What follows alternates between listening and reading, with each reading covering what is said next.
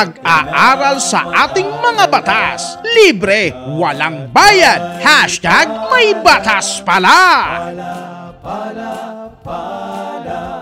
Ang lahat ng mga aplikasyon na isinumite ay dapat aksyonan ng nakatalagang empleyado sa loob ng itinakdang oras ng pagproseso na nakasaad sa Citizens Charter na hindi lalampas sa tatlong araw ng trabaho sa kaso ng mga simpleng transaksyon at pitong araw ng trabaho sa kaso ng mga komplikadong transaksyon mula sa petsa na natanggap ang kahilingan at o kumpletong aplikasyon o kahilingan. So, one week, no? Pitong araw. Sa Yan. komplikado. Para naman po sa mga technical na aplikasyon o kahilingang kinasasangkutan ng mga aktibidad na nagdudulot ng panganib sa kalusugan ng publiko at iba pa, ang itinakdang oras ng pagpuproseso ay hindi po dapat lalampas sa dalawampung araw ng trabaho o ayon po sa itinakda ng ahensya ng gobyerno o kinauukulang instrumentalidad, alinman po ang mas maikli. So, hindi po dapat lalagpas ng isang buwan. Ibig sabihin dapat mabilis ang Yes. pagproseso. Oo. Yun ang sinasabi dyan. Ayan. Ayan, ano bang? Ano pa?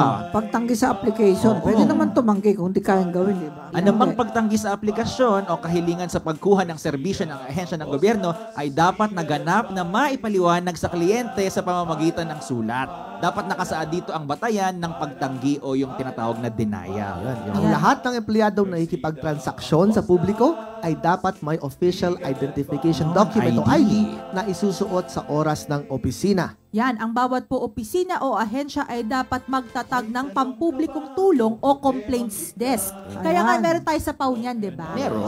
Yes. Compliant. Saka Yeah. ano, yung Compliant. Refusal form, meron. Yung denial Yes, form. Denial form, meron po tayo Kasi hindi naman lahat talaga sa atin pwede sa atin eh.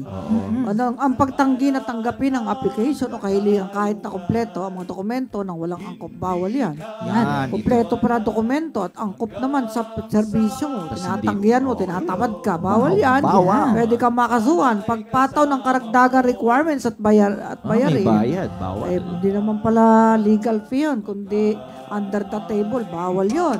Hindi pagbibigay ng written disqualification o denial form sa Bawal, aplikante.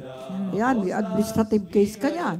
At hindi pag-aksyon sa hininging serbisyo sa loob ng tinakdang panahon. Yan. Baka Ayaw naman yung bawal pa. Yan. Ito pa, hindi pag-asikaso sa mga aplikante o humihiling ng mga partido na nasa loob ng opisina Pasaway bago matapos ang opisyal na oras ng trabaho at sa panahon ng paghinga sa tanghalian. Pahinga. Diba? Pahinga. Ito, May ang, pahinga. ito, yung susunod na nyo, No-non ang break resibo. tayo. Ang resibo. Nasa na? Hindi, Nako. wala. Ah, hindi ka nagbigay. Eh, dali ka. May administrative sanction yung mga ganyan eh. At saka pwede makasuhan talaga ang pagiging fixer. Yan. O pakipagsabuhatan sa isang fixer kapalit ng pera o kalama. Bawal yan. Bawal. Ano ang mga parusa? Puntaan natin. Yan ang tanong eh. Ano ang parusa dyan sa mga Oh. lumalabag? Yan. First offense? First offense, pananagutang administratibo na may anim na buwang pagsususpindi. Ayan, sa kaso ng fixing at o pakikipagsabwatan sa mga fixer sa ilalim ng Republic Act number 11032, pagkakatanggal sa serbisyo, perpetual disqualification from holding public office at pag-alis ng mga benepisyo sa pagre-retiro at pagkakulong ng isang taon hanggang anim na taon na may multang hindi bababa sa Ayan, limang may kulong. piso. Yes. Oh, may kulong Hindi kayo. sa Ayan, 2 yung mga nasa million government. pesos. Ayan, may kulong yan. Paalala. Second offense? Ayan, pang pananagutang administratibo at pananagutan sa kriminal na pagkakatanggal sa serbisyo, perpetual disqualification from holding public office, at pag-alis ng mga benepisyo sa pagreretiro at pagkakakulong po ng isang taon hanggang anim na taon na may multang hindi bababa sa limang daang libong piso, ngunit hindi po higit sa dalawang milyong piso. Second offense. So, second offense. So, makul ano, pag Marami makulit tayong ka- batas eh.